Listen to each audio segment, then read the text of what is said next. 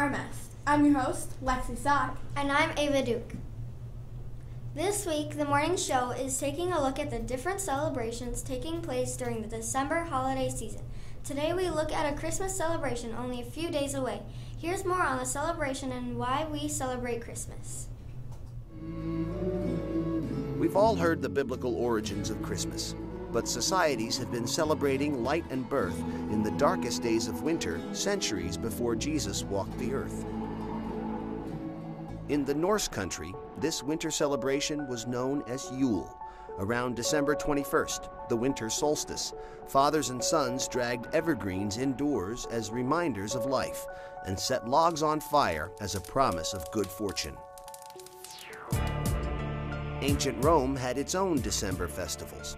One week before the winter solstice, Romans began celebrating Saturnalia, an orgy of food and drink in honor of Saturn, the god of agriculture. Some Romans, particularly soldiers and government officials, also worshipped Mithra, the sun god. It is believed that to this small but powerful sect, the birthday of Mithra, December 25th, was the holiest day of the year. By the first century AD, pagan traditions were being challenged as Christianity took hold throughout the empire. But Christ's birth date remained a mystery, since the Bible doesn't mention exactly when he was born.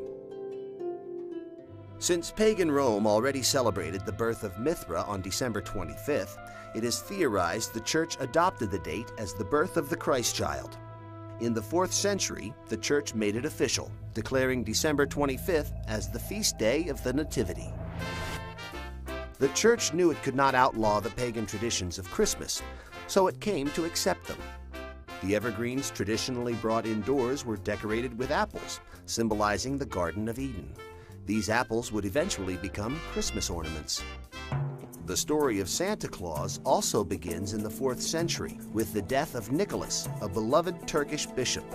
The anniversary of his death became known as St. Nicholas Day. On December 6th, good children woke to gifts from the kindly saint. Bad children sulked away with nothing.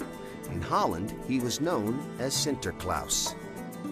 1,500 years later in America, a seminary professor named Clement Clarke Moore reimagined the legend of St. Nicholas. In 1822, Moore wrote a poem called The Night Before Christmas about a good natured saint named Santa Claus who was pulled by a group of reindeer and came down the chimney on Christmas Eve. Like St. Nicholas, Santa Claus spread good cheer and gave gifts to children. Less clear was exactly what this Santa Claus looked like. Then in 1863, Thomas Nast, a cartoonist for Harper's Weekly, settled the matter once and for all with his version of the Christmas Saint.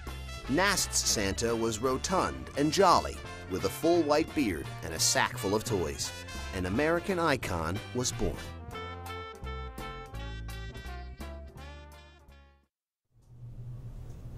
The winter break is coming soon, and now is the perfect time to tidy up. Go through your binders and get rid of unneeded items. Make sure you check with your teachers on what you should keep. Also, take some time to clean out your locker and get ready for yourself in 2016. Today, we'd like to give thanks to all the wonderful things you have done in 2015. Tonight.